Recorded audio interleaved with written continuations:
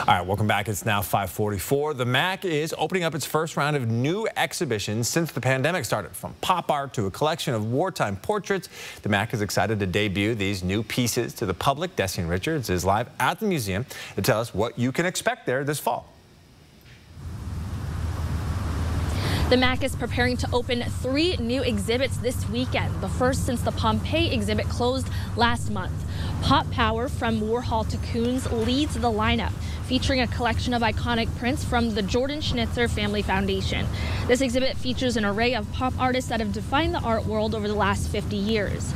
Also opening this weekend, Music Finds a Way, the Spokane Symphony. This exhibit celebrates the symphony in its 75th year and portrays the history and contributions it's made to Spokane's culture.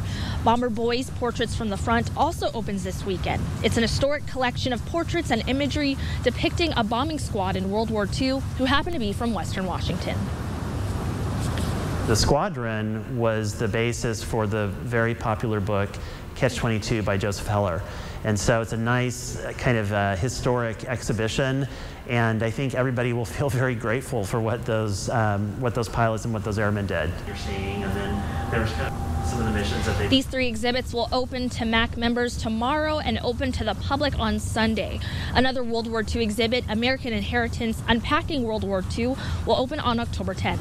All visitors are required to reserve a time in advance, wear masks, and social distance inside the museum. For more information on these fall exhibitions and to reserve your time to visit, see this story on KXLY.com. Reporting live at the MAC, Destiny Richards, 4 News Now.